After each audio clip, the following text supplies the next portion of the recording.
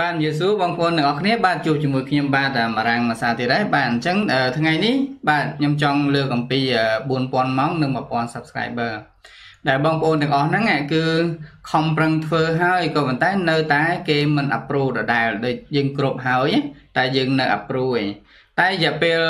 មួយខែ30ថ្ងៃគឺយើងអាចធ្វើការ re-approve ម្ដងទៀតអញ្ចឹងមុននឹងធ្វើការ re-approve យើងត្រូវតែ រៀបចំនៅ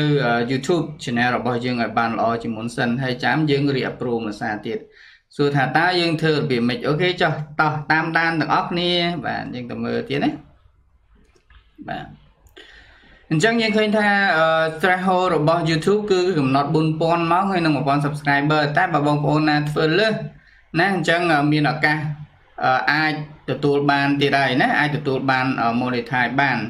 បានមិនថាយើងដាក់ជាអក្សរខ្មែរឬក៏អក្សរបរទេសទេគឺអត់សំខាន់ទេតែគឺសំខាន់គឺ policy បាទ policy ហើយនឹង community guideline យើងត្រូវធ្វើឲ្យត្រូវណាយើងធ្វើឲ្យត្រូវអូខេអញ្ចឹងហេតុអីបានខ្ញុំលើកនឹងរឿងនឹងមកគឺទី1គឺខ្ញុំមិនចេះតែយកខ្លួនឯងទេណាគឺខ្ញុំត្រូវតែទៅចូលសិក្សារបស់អឺ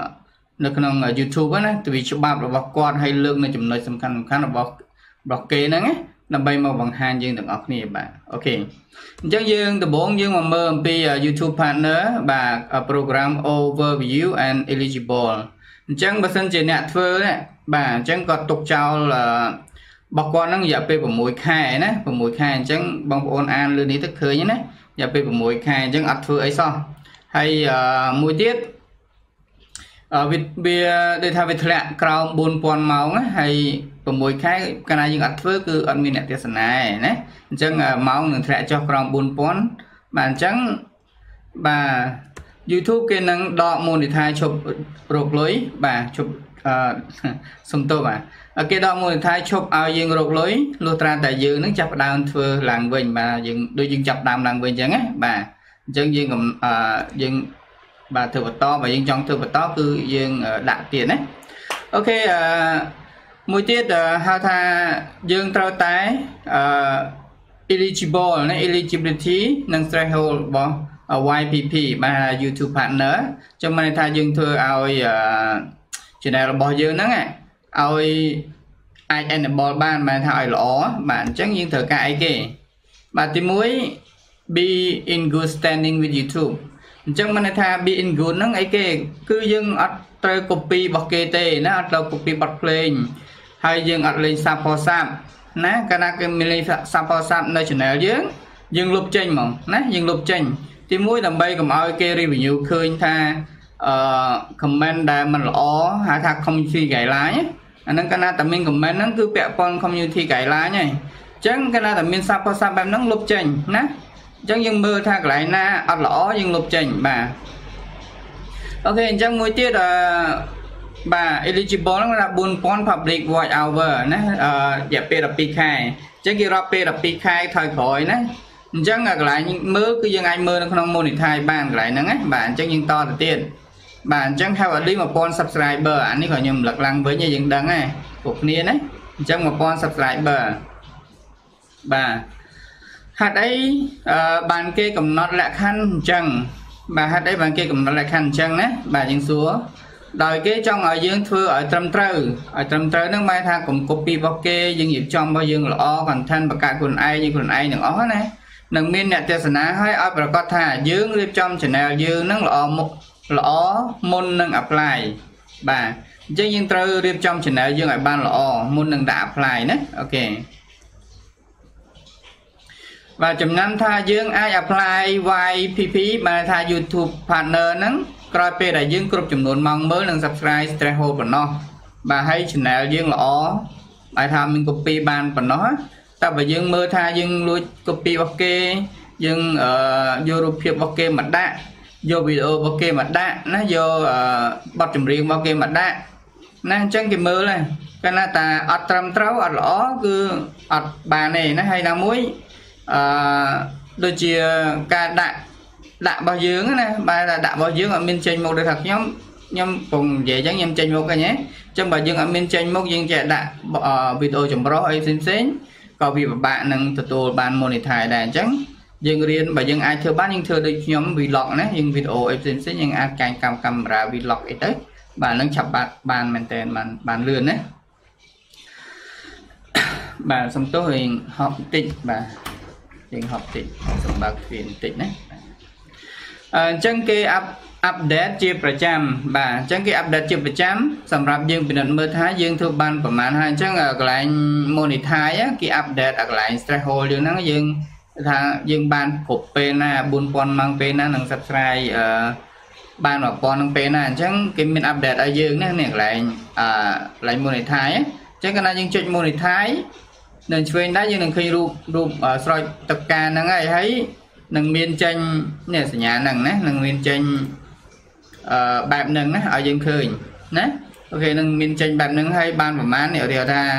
កន្លែងនេះគេបាន520 subscribe នេះអញ្ចឹងគេចេញឲ្យចឹងហ្មងហើយយើងមើលកន្លែងហ្នឹងស្រួលណាអញ្ចឹងយើងបាន865ម៉ោងញ៉េកន្លែងហ្នឹងយើងមើលហ្នឹងហ្មងបាទយើងមិនបាច់ចាំទៅគិតច្រើនណាអញ្ចឹងគេមានកន្លែងឲ្យយើងមើលអូខេទៅទៀតមួយទៀតគេនឹងផ្ញើអ៊ីមែលមកប្រាប់យើងថាយើងបានគ្រប់ម៉ោងនឹង subscriber ហើយឧទាហ រណ៍បើថាកន្លែងកន្លែងនេះពេញណាកន្លែងហ្នឹងគ្រប់ម៉ោងណាកន្លែងហ្នឹងគ្រប់ម៉ោងគេនឹងផ្ញើអ៊ីមែលមកឲ្យយើងហ្មងណាផ្ញើអ៊ីមែលមកឲ្យយើងគេប្រាប់ថា congratulations នេះអញ្ចឹងណា your channel first uh, first last has been past 1000 subscriber ហើយនឹង4000 public watch hour គេញ៉េរយៈពេល12អឺខែគេប្រាប់យើងហ្មងយើងបាច់ចាំបារម្ភទេដល់ពេលនេះយើងអាចចូលមក apply Google AdSense account មួយទៀត ហើយបាទកន្លែងនេះគឺសំខាន់ណាអញ្ចឹងនៅពេលដែលយើង apply Google AdSense បាទនេះកន្លែងយើងចុចចូលណាយើងចុចចូល monetize នេះកាលណាយើងបើក YouTube Studio នេះកន្លែង logo យើងណាចឹងយើងបើកមកយើងរុនទៅក្រោមមកយើងកន្លែង monetize អញ្ចឹងនេះកន្លែងនេះកាលណាតាគ្រប់បាទគ្រប់នេះគឺយើងគេមានពណ៌ពណ៌ឲ្យលោតឡើងថាយើងគ្រប់ហើយហើយកន្លែងនេះមានលោត apply apply ឲ្យយើងឲ្យយើងណាអញ្ចឹងយើងចុច apply ទៅបាទ នៅពេលដែលយើងចុច apply គឺជំហានទី1បាទយើងគេឲ្យយើងកា start ណាយើងចុចទៅ apply នេះ review partner program term លក្ខខណ្ឌយើងចុចលក្ខខណ្ឌឲ្យគេណាតមកទៀតបានយើង sign up នេះ Google AdSense នេះយើង sign up ពឹបមកយើងនឹងទទួលបានអឺការចោះឈ្មោះជាមួយ ID យើងជាមួយតាញិនបានយើងហ្មងយើងដាក់អាស័យដ្ឋានយើងហ្មងហើយនឹងលេខទូរស័ព្ទរបស់យើងណាអញ្ចឹងលេខទូរស័ព្ទហ្នឹង សូមឲ្យលេខទូរស័ព្ទថ្មីណាបើយើងបើអត់ទាន់ប្រើអត់ទាន់ធ្លាប់ដែលប្រើជាមួយ Google AdSense ណាចឹងយើងប្រើថ្មីណាយើងយើងយកអាថ្មីទូរស័ព្ទរបស់យើងហ្មងណាហើយមានតាញិនបានអីត្រឹមត្រូវណាបាទអញ្ចឹងមកអឺលេខទូរស័ព្ទរបស់យើងហ្នឹងត្រូវប្រើតាញិនបានអីត្រឹមត្រូវណាបាទជាមួយលេខរបស់យើងបាទហើយជំហានទី3នោះគឺយើង apply ទៅគេចូល review របស់យើងហើយសូមចាំថាមុននឹង apply កន្លែងហ្នឹងណា យើងត្រូវមើល channel យើងសិនកន្លែងហ្នឹងសំខាន់ណាគឺត្រូវមើល channel យើងថាតើ channel របស់យើងនេះមាន copy អឺរបស់គេអត់មានជាប់ copyright អត់មានជាប់បទភ្លេងឬអត់ឃើញទេមានជាប់អឺនិយាយចាំទៅយករបស់គេយកយកបទវីដេអូឬក៏យករបស់គេមកកាត់តអីចឹងយើងមានអត់បើយើងមានគឺសូមយើងលុបចេញណាហើយម៉ោងអាចធ្លាក់ចុះតែសំខាន់កាលណាតែយើងលុបចេញ គឺយើងត្រូវរៀបចំបន្ថែមទៀតហើយណាអញ្ចឹងវាអាចធ្លាក់ទៅក្រោមហ្នឹងគឺយើងអាចធ្វើឡើងវិញទៀតអត់អីទេណាយើងគេឲ្យយើងធ្វើភាសាទៀតទេណាអញ្ចឹងកន្លែងហ្នឹងយើងសូមប្រយ័ត្ន OK អញ្ចឹងនៅពេលដែលគេពិនិត្យឃើញថាត្រឹមត្រូវឥតខ្ចោះហើយណាអញ្ចឹងយើងគេឲ្យយើង monetize ហើយគេឲ្យយើងនេះចេញដុល្លារខៀវខៀវនេះណាគេបើកឲ្យយើងហើយ OK ណាប្រទេសខ្មែរយើងបើកបានណាអញ្ចឹងគេរយលុយបាន 1000 1000ទៀតហើយណានៅតែយើងទេ OK អញ្ចឹងដើម្បីយើងទទួលបានលុយដូចគេ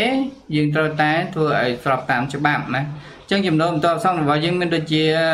ចូលរួមជាសមាជិកឧទាហរណ៍ live chat ណាបាទ live chat become member of channel get exclusive perk ហ្នឹងគឺដូចជា live chat super chat អីហ្នឹងបាទយើងកន្លែងហ្នឹងក៏បានលុយដែរណាអញ្ចឹងគេទិញរបស់ទិញអីហ្នឹងគេ live អីហ្នឹងគឺបានបាទអូខេសំណួរទី1 បាទសំណួរទី1នៅពេលណា channel របស់យើងត្រូវបាន review បាទនៅពេលណា បាទនៅពេលដែលយើងគ្រប់គ្រប់ហើយយើង apply ទៅគឺគេ review ហើយណាគេបាទវាអាចលឿននឹងឆាប់អាស្រ័យលើការងារលើ COVID ហ្នឹងរៀងយឺតតិចអត់អីទេតែគេនឹង review របស់យើងគ្រប់ទាំងអស់ណាចម្លើយគឺព្យាយាមធ្វើឲ្យវីដេអូយើងកាន់តែល្អប្រសើរបាទចម្លើយគឺព្យាយាមធ្វើវីដេអូយើងហ្នឹង ឲ្យកាន់តែល្អប្រសើរឲ្យល្អប្រសើរហ្នឹងវាម៉េចបាទល្អប្រសើរហ្នឹងកុំ copy របស់គេកុំកុំចម្លងអឺ music របស់គេហើយ music មាននៅក្នុងអឺ YouTube audio library ណា audio library នៅក្នុង studio យើងហ្នឹងយើងចូលទៅមើលទៅយើងនឹងឃើញហើយបាទអញ្ចឹងបាទយើងនឹងឃើញនៅខាងក្រោម monetize តាមមែនណា បើចាំមើល monetize នេះមានឃើញ audio studio studio audio បាទមានឃើញយើងបង្ហាញណាបើអត់ទេគឺយើងទៅមុខទៀតអូខេទី2គឺយើងបង្កើតវីដេអូដោយខ្លួនឯងណាយើងធ្វើវីដេអូបង្កើតខ្លួនឯងយើងកុំ copy ពីគេកុំចម្លងពីគេណាអត់ខ្វះទេយើងអាច review លទ្ធផលយើងអាចជួសជុលរបស់ឬក៏យើង review បង្កើតអីមួយយើងអាចថតទេសភាពថតអីមកបាទ វីដេអូយើងណាហើយយើងទៅគោរពគោលការណ៍របស់ YouTube កុំភ្លេចគោលការណ៍ហើយនឹង community guideline ណាគោរពពីនឹងឲ្យមែនតែនជៀសវាង copy ពីគេបាទ copy ពីគេបាទនឹងក្រឹងចូលទៀតណាខំប្រឹងរៀននិងអាប់ឡូតអ្វីដែលល្អបាទយើងរៀនបន្ថែមណាយើងអត់យល់យើងរៀនបន្ថែមទៀតណាយើងសិក្សាច្បាប់ថែមណាហើយផ្ដោតទៅលើ audience និងអ្នកទស្សនារបស់យើងថាគាត់ចង់មើលអីបាទយើងផ្ដោតទៅលើ audience យើងដែរណាជាងកាគាត់អឺចូលចិត្តអីគាត់ ចង់បានអីយើងបាទយើងរៀបចំនឹងអីគាត់ទៅណាបាទអូខេចប់ហើយគឺនៅសំណួរទី2បាទសំណួរទី2តើមានរឿងអ្វីកើតឡើងហេតុអ្វីបានយើងមិនទទួលបាន approve នេះហេតុអីបានយើងទទួលបានអត់បាន approve បាទកន្លែងហ្នឹងខ្ញុំនិយាយមិញហ្នឹងណាដូចយើង copy ពីគេចម្លងពីគេណាអឺមានហៅថាយើងធ្វើខុសច្បាប់នេះដោយសារតែយើងមិនធ្វើនឹងគោរព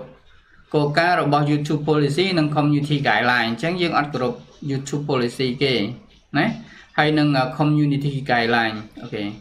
អញ្ចឹងកន្លែង YouTube policy នេះខ្ញុំចង់និយាយបន្តិចថាអឺយើងត្រូវតែបាទគោរពច្បាប់ណាយើងមិនត្រូវ copy របស់គេទេណាមិនត្រូវ copy ហើយ community guideline ហ្នឹងយើងធ្វើអ្វីកុំឲ្យប៉ះពាល់ណាប៉ះពាល់ដល់ អ្នកទេសនាដូចជាយើងប្រើកំភ្លើងដូចយើងប្រើកបែកដូចជាយើងថតមនុស្សស្លាប់ដូចជាយើងថតមនុស្សវាយគ្នាណាយើងថតរឿងដែលមិនកប់បីរឿងអឺហៅថា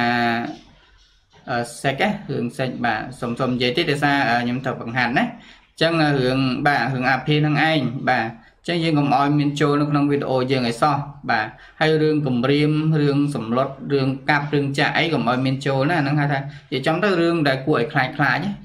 បាទអញ្ចឹងយើងធ្វើរឿងណាសបាយសបាយមកបាទអញ្ចឹងអាទាំងអស់ហ្នឹងដូចជា comment comment ហ្នឹងបានន័យថាអ្នកខ្លះបងបងឯងជួយ subscribe ខ្ញុំមួយបាទកន្លែងហ្នឹងគឺខុសណាអញ្ចឹងកន្លែងតែមានពាក្យហ្នឹងជួយ subscribe ជួយអីហ្នឹងយើងឃើញយើងលុបចោលហ្មងយើងកុំយើងកុំលេងកាលណាតែឃើញដល់បងបងឯង ខ្ញុំ subscribe បងឯងហើយអញ្ចឹងបងឯង subscribe ខ្ញុំមួយឬក៏មានគេកម្មវិធីដែលគេឧបត្ថម្ភឲ្យយើងណាឲ្យជួយខាងជួយ subscribe គ្នាអីយើងអូខេយើងអាកន្លែងហ្នឹងគឺយើងត្រូវលុបចោលភ្លាមណាបើមានកន្លែងហ្នឹងគឺយើងកុំចូលលេងតែម្ដងហ្នឹងហើយដែលហេតុអីបានជា YouTube គេមិនងាយ approve យើងណាដោយសារយើងធ្វើខុស community guideline នឹងឯងបាទអញ្ចឹងយើងចូល comment គេញឹងញឹងញឹងញឹងញឹងចឹងទៅក៏ជាប់ដែរ community guideline ណាអញ្ចឹងយើងកុំ spam គេ អូខេអញ្ចឹងខ្ញុំនិយាយតទៀតអំពី community guideline ដូចជាយើង misleading misleading data របស់យើងយើង repetition misleading ហ្នឹងមិនថា title video របស់យើងហ្នឹងយើងដាក់អត់ត្រឹមត្រូវយើងដាក់អត់ត្រូវណាហើយ guideline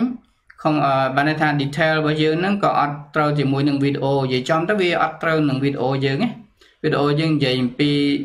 សត្វចាបតែយើងទៅពណ៌នាមពីសត្វអីផ្សេងវិញណាវាអត់ត្រូវហើយចំណងជើងនឹងដាក់ត្រូវសត្វចាបរបស់យើងឯងអូខេហើយការពណ៌នា description ក៏អត់ត្រូវណា tag tag គាត់ថាយើងធ្វើពីសត្វចាបមិញតែយើងទៅ tag អំពីសត្វតោសត្វគោសត្វក្របីឬក៏អឺទូទួស៊ីអឺទូទួណាហើយទេសភាពអីណាមកស្រាប់គេសើញពីទូទួទៅចេញសត្វចាបយើងអញ្ចឹងវាអត់ត្រូវហៅថា community guideline ហ្នឹង hamilton ហើយអញ្ចឹងយើងយើងធ្វើខុស spam មួយទៀត spam ដូចគ្នាហ្នឹងក៏អាចចូល spam ដែរដោយសារយើងយើង spam គេណាយើង spam យើងយើងធ្វើវិចារវិញតែយើងទៅទៅទៅពេលគេ search មិនចូលចាប់ឬទៅចូលអឺមិន search តោមិនចូលតោឯណាចូលទៅចូលចាប់នៅកន្លែង tag ណាបាទចឹងកន្លែងហ្នឹងយើងខុសខុសកន្លែងហ្នឹងអញ្ចឹងគេមើលទាំងអស់គេមើលទាំងវីដេអូគេមើលទាំង detail មើលទាំង title វីដេអូយើងត្រូវអត់លេងដាក់ item ត្រូវអត់ណាអញ្ចឹងយើងត្រូវតែគោរពនៅគោលការណ៍ YouTube policy និង community guideline ហើយបទចម្រៀងអីចឹងណានៅក្រៅខាងយកមកត្រឹមតែកែទេកែរបស់គេយករបស់គេមកកែណាអត់ទេកណ្ណាកែ remake អាហ្នឹងហៅថា reuse កែ remake ហ្នឹងគឺអត់បានទេណាខ្ញុំផ្ដាំឲ្យផ្ដាំទៀតថាយើង copy ហ្នឹងគឺលក្ខណៈអញ្ចឹងអត់បានទេណាអញ្ចឹងសូមបងប្អូនកុំធ្វើវាកណ្ណា បងប្អូនមានឧបករណ៍ភ្លេងបងប្អូនរុកនឹកគិតទៅណាយើងគ្រាន់ថាលំនាំបាត់គេយើងរុកនឹកគិតថាយើងធ្វើមិនឲ្យបានខ្លួនឯងយើងណាយើងមិនយករបស់គេមកធ្វើទេណាយើងយើងមិនយករបស់គេមក remix របស់យើងឬក៏ review របស់គេអត់បានទេណាអញ្ចឹងយើងត្រូវរៀនបង្កើតខ្លួនឯងមើលថាដល់លំនាំបន់អញ្ចឹងយើងអាចបង្កើតធ្វើម៉េចឲ្យឲ្យថ្មីណាឲ្យថ្មីចេញដាច់ពីគេមកណាឲ្យប្លែកពីគេមកថាគេធ្វើអញ្ចឹងយើងអត់ធ្វើអញ្ចឹងយើងធ្វើផ្សេងណា យើងធ្វើរបស់យើងឲ្យល្អល្អឃើញទេអញ្ចឹងយើងដើរតាម community guideline និង policy របស់ក្រុមហ៊ុនអត់ខុសច្បាប់អីឃើញទេអញ្ចឹងគេនឹងងាយ approve ឲ្យយើងខ្លាំងមែនទែនអញ្ចឹងអ្នកខ្លះថាគឺដោយសារអសរដោយសារអីគឺមិនមែនទេគឺគឺសំខាន់ជាងគេ YouTube ផ្ដោតណាគឺ policy និង community guideline បាទយើងចាំកន្លែងហ្នឹងកាលណាយើងដើរខុសពី policy និង community guideline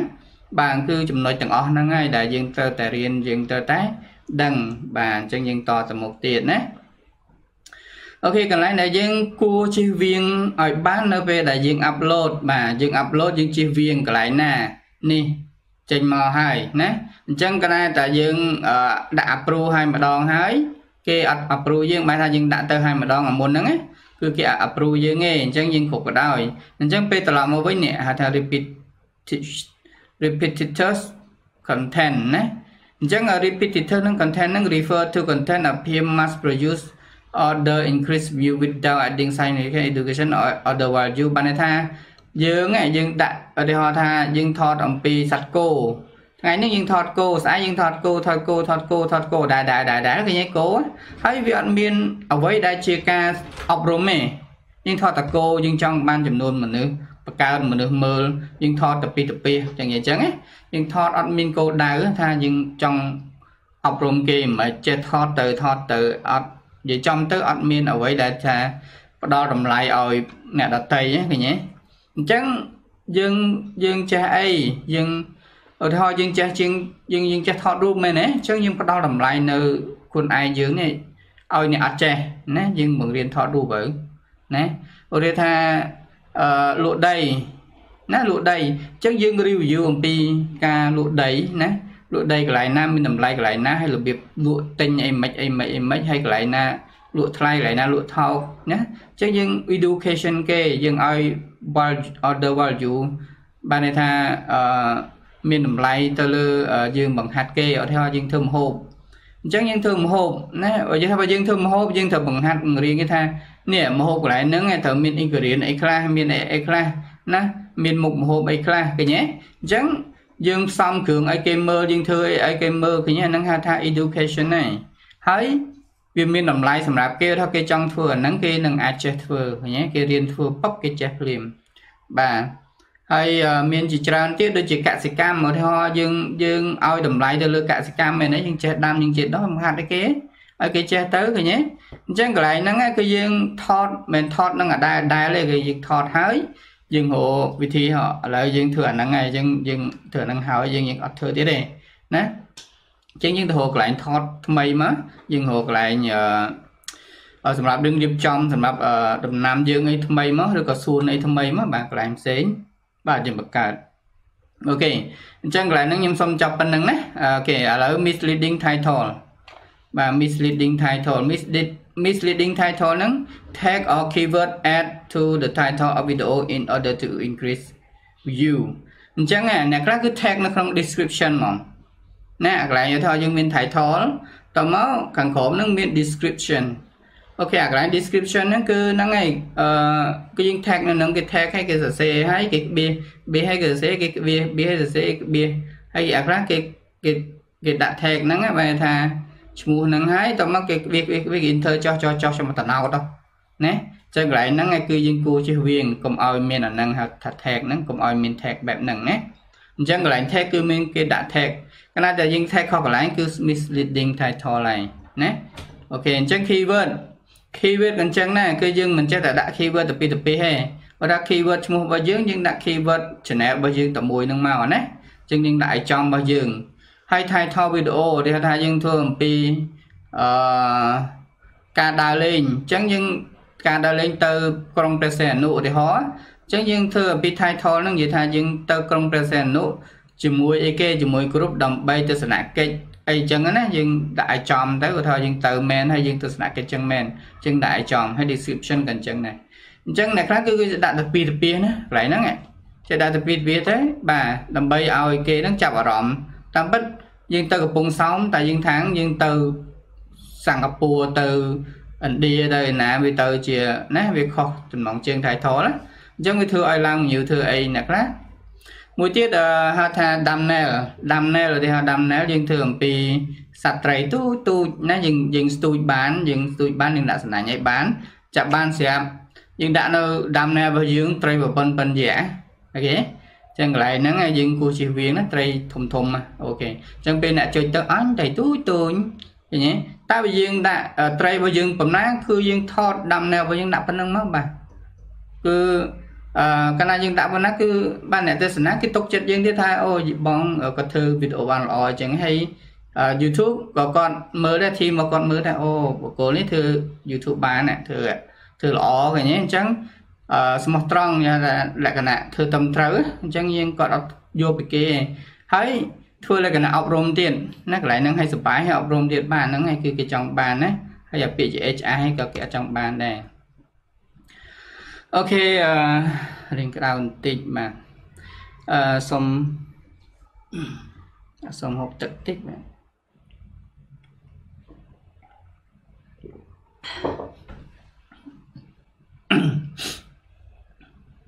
បាទបាទយើងតទៀតណា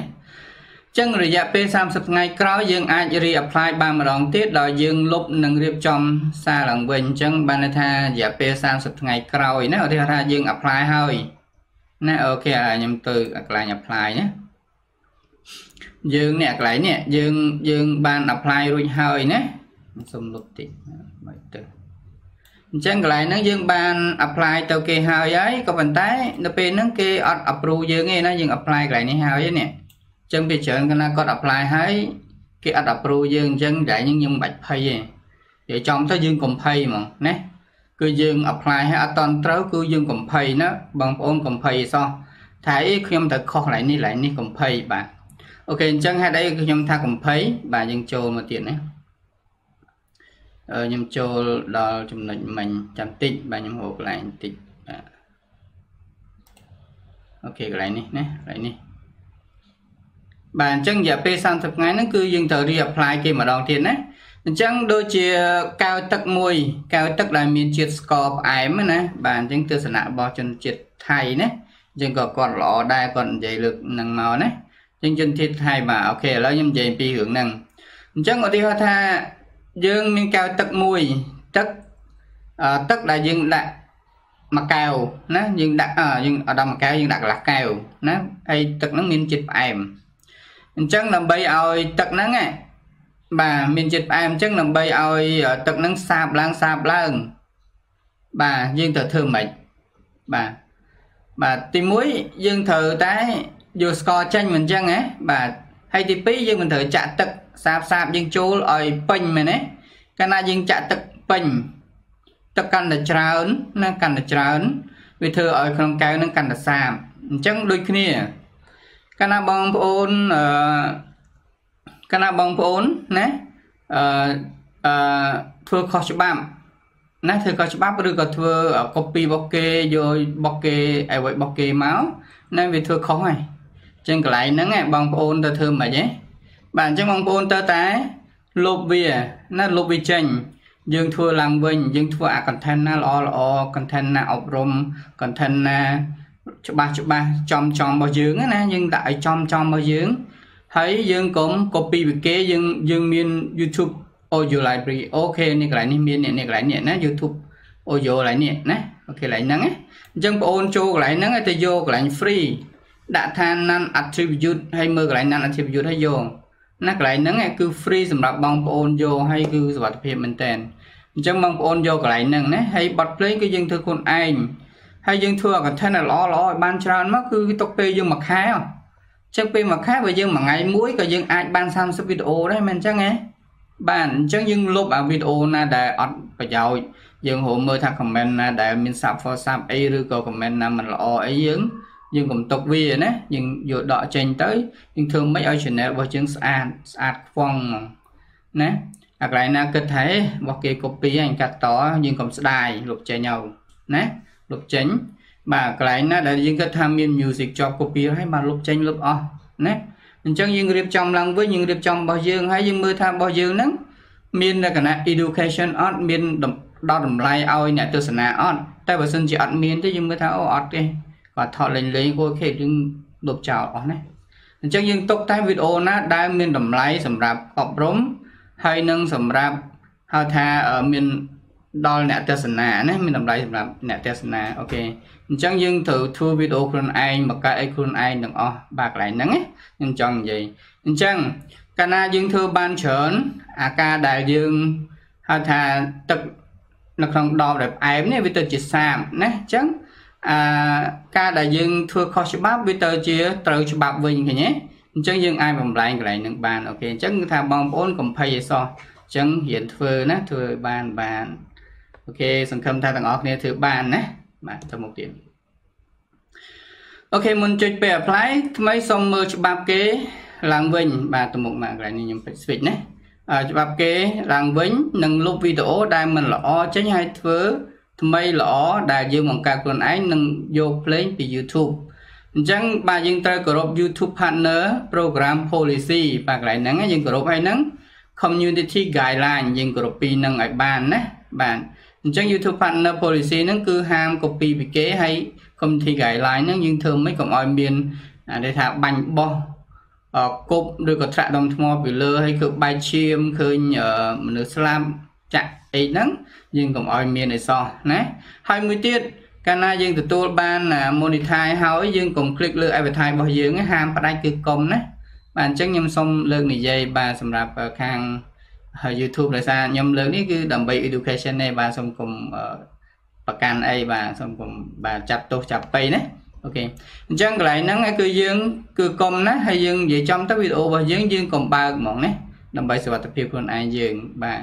អូខេអញ្ចឹងបងប្អូនយល់បានណាអញ្ចឹងដល់ពេលដែលយើងលុបហើយហ្នឹងរយៈពេល30ថ្ងៃហ្នឹងបាទអញ្ចឹងយើង re-apply ចុចប៉ាប់ណាអញ្ចឹងយើងអត់ apply កន្លែងនេះមុននឹងយើងចុច re-apply យើងត្រូវតែកែរបស់យើងឲ្យល្អសិនណាកន្លែងណា stone stone video stone stone យើងលុបចោលឲ្យអស់ណាអាកន្លែងណា title យើងដាក់ចំណងជើងអត់ត្រូវ នឹងវីដេអូរបស់យើងណាវីដេអូយើងធ្វើអំពីសត្វឆ្មាយើងដាក់ចំណងជើងឲ្យត្រូវសត្វឆ្មាមកបើសត្វឆ្មាកំពុងតែដើរកំសាន្តជាមួយមេវាឬក៏អីចឹងអូខេយើងដាក់ឲ្យត្រូវមកជាមួយនឹង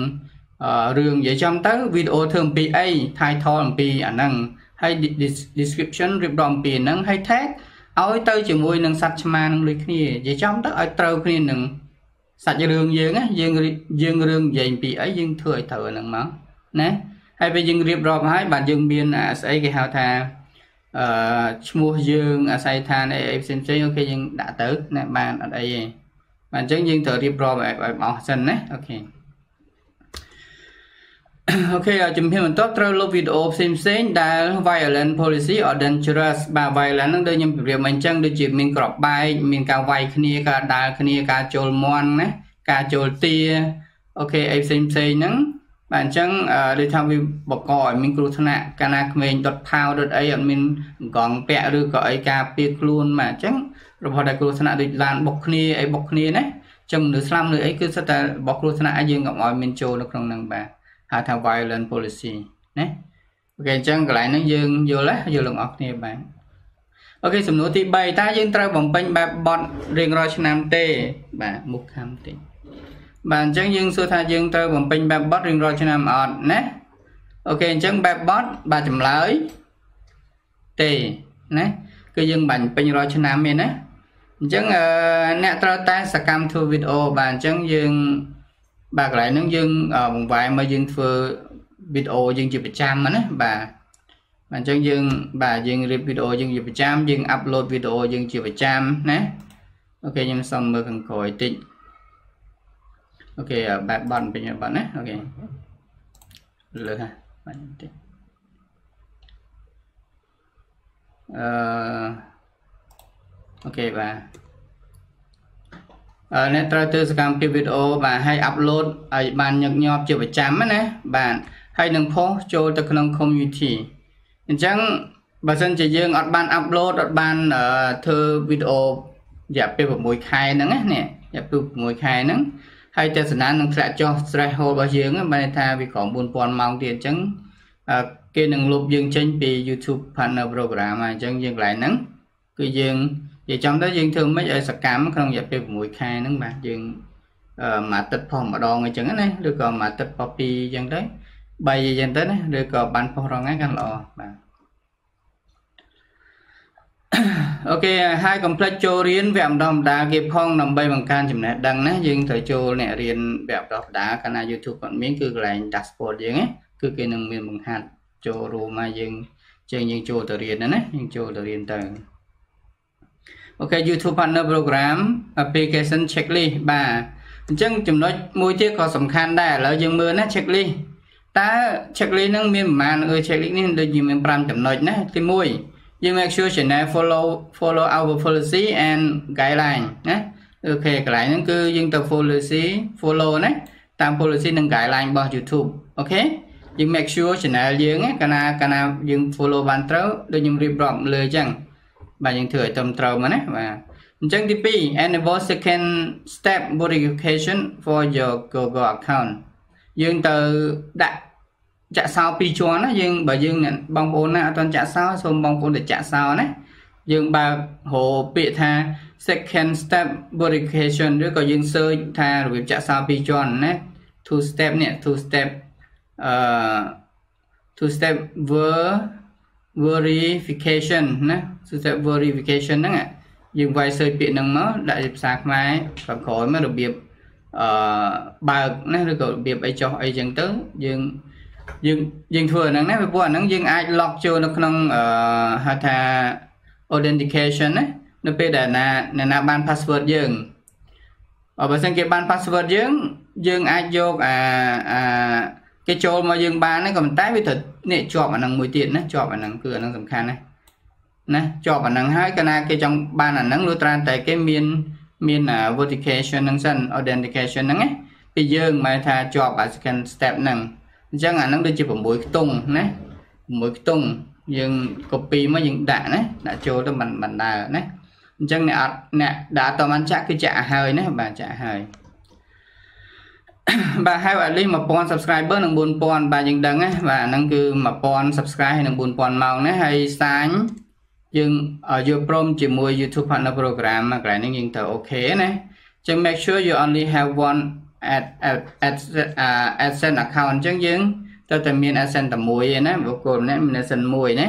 អញ្ចឹងបើយើងមាន email មួយយើងត្រូវបង្កើត AdSense មួយរបស់យើងមកណាអញ្ចឹងយើងបង្កើត channel ប៉ុន្មានក៏ដោយសម្រាប់យើងបុគ្គលម្នាក់ឯងថាយើងមាន channel 2អញ្ចឹងយើងយកដាក់ចូលក្នុង Google AdSense យើងតែមួយឯណាបាទកន្លែងហ្នឹងអូខេ get review អញ្ចឹងយើងទទួលបានអឺពិនិត្យឡើងវិញអញ្ចឹងយើង បាទគេរឹង review យើងណាបាទកាលណាយើងមានចំណុច checklist នឹងទាំងប្រមាណ5ចំណុចហ្នឹងទៅគេគេនឹងមើលហើយយើងនឹងទទួលបានការ approve ហើយយើងធ្វើតាមក្បួនច្បាប់គេណាអូខេអញ្ចឹងសង្ឃឹមថាបងបងប្អូនទាំងអស់យល់ហើយកុំភ្លេចជួយ subscribe like ផងហើយកុំភ្លេចជួយចុចពាក្យកណ្ដឹងផងណាដើម្បីទទួលបាននៅការអឺបានន័យថាកាលណាខ្ញុំអាប់ឡូតទៅគឺយើងទទួលវីដេអូនឹងលោតលើគ្រឿងគ្រើងតែម្ដងបាទ ចេញមកបាទអញ្ចឹងបើខ្ញុំមានអីខុសឆ្គងសូមកាន់តែបេតូបានអញ្ចឹងសូមអ្នកទាំងអស់គ្នាជួយនៅគោរពច្បាប់ YouTube ណា policy របស់ YouTube គោរពទាំងអស់គ្នាយើង follow ទៅតាម policy និង community guideline របស់ YouTube ណាបាទអញ្ចឹងខ្ញុំបានបារាំងសូមជម្រាបលាបាយបាយ